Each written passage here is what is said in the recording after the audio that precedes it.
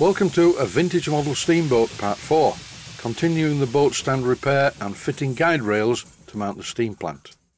The first clip was from the last episode when I held the parts together using a piece of masking tape and a spring clamp, and now 24 hours later the JB weld is fully cured so I've removed the spring clamp and here I'm taking off the masking tape. Before we go any further I don't want any viewers to get carried away. This is not a priceless antique, this is the roughest boat stand I've ever seen. I'm going to be quite brutal with it in order to repair it and make it a successful boat stand. Starting off with my Proxxon angle grinder fitted with a flapper wheel, I'm cleaning up these specially shaped parts, paying particular attention to smoothing out the JB weld. At this stage I'd like to say that the wood on the upright parts was never really the same colour as the base, and during this episode you will see me doing things at it and you may think, what? What's he doing that for? That's no good. But trust me, it will work out in the end. From time to time, I watch a couple of very interesting TV programs, all about repairing and restoring things. And on both of these programs, particularly one of them, the edits are really clever. They don't really show what's happening, they show a before and an after and a little bit in between. I'm going to show you most of the process. I have to edit it, otherwise it would be too long. After doing quite a bit of rubbing down, it's time to apply some varnish. This, as you can see, is Ronseal Outdoor Varnish and it's not the water-based type. I repeat, it is not the water-based type. I'm using a random paintbrush to just brush away the dust, although sometimes sanding dust can be useful in certain applications to fill the gaps. In this clip I'm applying a liberal coat of varnish, quite a lot. If I left this it would just run everywhere. So what's the plan? Well, by applying a lot of varnish, it will soak into the wood, which is what I want it to do, mainly because the wood isn't in very good condition. Both the boat stand and the boat itself are quite old, and dare I say it, not very well made. So my repairs and modifications need to match the standard of the building of the boat and the stand in the first place. Hence the term once again a sympathetic restoration. It's done the boat good to sit on the shelf for a few years because the steam plant doesn't look brand new anymore. And I'm not going to shine up the copper piping either. I want some patina on this. You've just seen me wiping off the varnish that I've applied. There is a reason for this. I do not want the part to look varnished. I want it to match in with the rest of the stand, which it will do, but this takes time. The point of this heavy coat of varnish followed by wiping it off is to make sure that the varnish fills every nook and cranny in the old wood. Colour-wise now, I could leave it as it is, but there's still quite a way to go yet. This is a tin of Great Northern Railway Frames Chocolate Brown, and just like the varnish, this is also a gloss paint. I do not want the end product to be glossy.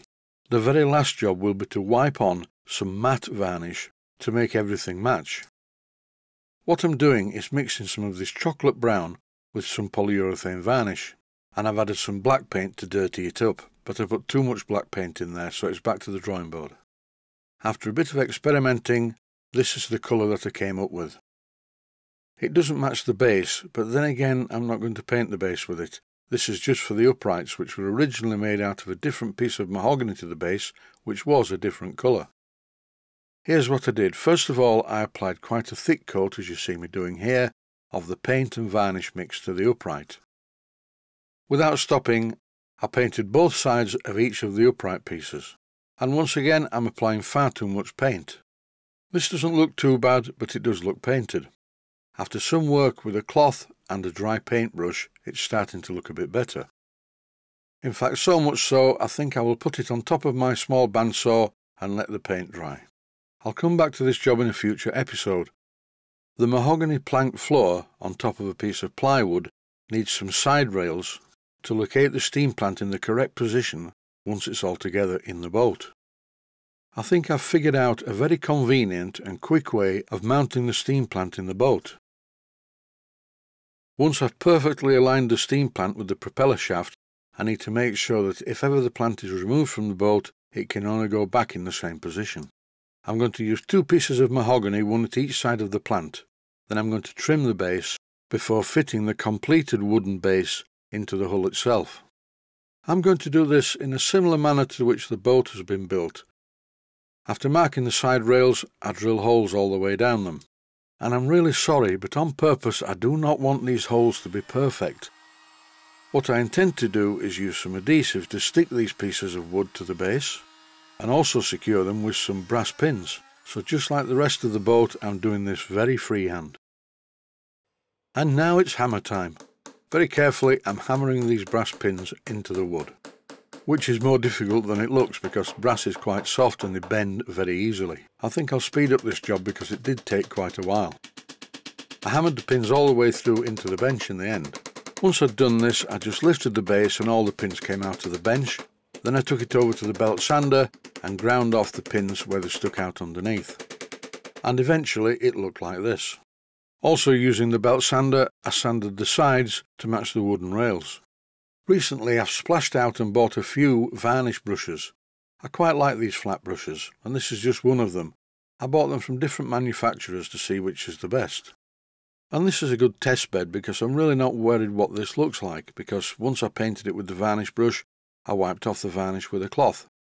I'm going to repeat this process a few times until I get a really smooth and really thick surface of varnish on the wood. Then I'll fit the base in the boat. I will need to make some shape mountings underneath that fit into the hull. This will hold the wooden floor at the correct angle so that the crankshaft lines up perfectly with the propeller shaft. I will probably do this in the next episode, but for now I'd like to say stay healthy, thanks for watching, and I hope you found it useful. Please take the time to visit my Mainsteam Models website and click on the section of the website that says Video Playlists. And by doing that, you can find other videos that you may like to watch. And by using the playlists, you can actually watch the videos back to back.